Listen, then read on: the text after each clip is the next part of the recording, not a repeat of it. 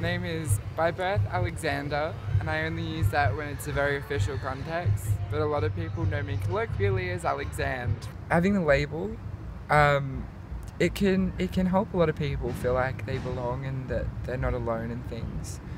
But I suppose for me, having the kind of loose umbrella of genderqueer allows me to, you know, not have to explain it because I am still figuring it out. I, I really am. Like it's quite it's quite a new realization for me over the past few months that this is where I'm at, what I'm what I'm comfortable with and who I am.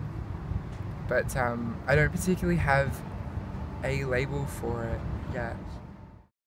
Alexand is just starting a challenging journey at university. 54 years ago, I began a similar journey. It's like travelling an open road with the whole world spread in front of you, with only a distant star to guide. Throughout primary school, I was a bit of a loner child. I didn't really have many friends. I was one of these kids that had um, no friends that were boys, and because of that, a lot of people picked on me. I got asked if I was a girl a lot, but before anyone knew what the term gay was or the F slur. I'm so proud to present this message to Alexand in recognition of his fortitude, courage, and resilience. I want him to have lots of hope and give him lots of encouragement.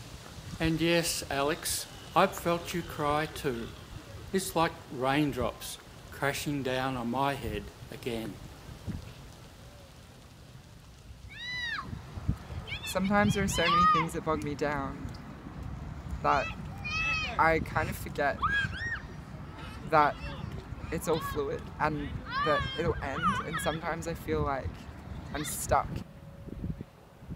And I overstress myself, I overwork, you know, I get involved in everything I can because, you know, I want to help out as many people as I can. I want to experience as many things as I can. But at the same time, that does take a toll. It's quite funny actually. A lot of people, um, when you come out to them, they're like, oh, when did you find out? When did you know? And for me, it's one of those things where I go, you know, when did you find out you were straight?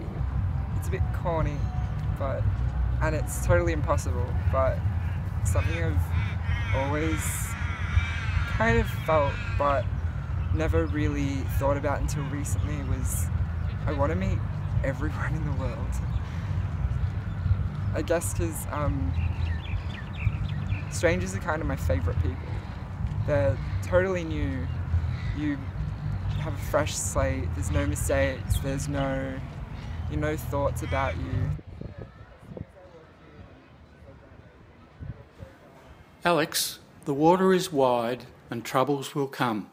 But when they do, here's a boat for two. We both can row, you and I. I too had a dream, so remember, there's help at hand to raise you up to all you can be. Just keep smiling.